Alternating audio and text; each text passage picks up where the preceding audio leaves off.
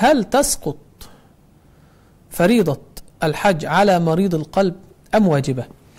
وأنا الحمد لله رب العالمين أستطيع ماديا وأستطيع الصيام وأحيانا أتعب.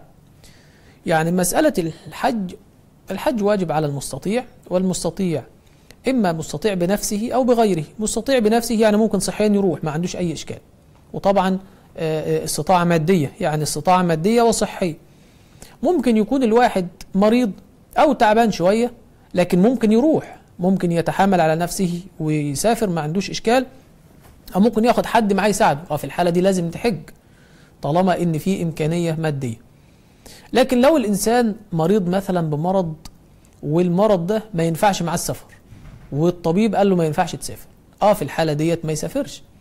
وتسقط عنه آه، وعليه أن إن كان قادرا ماديا أن ينيب غيره ليحج عنه. يعني يخرج شخص شوف واحد حج قبل كده يتكفل هو بنفقة حجه ويطلع يحج عنه.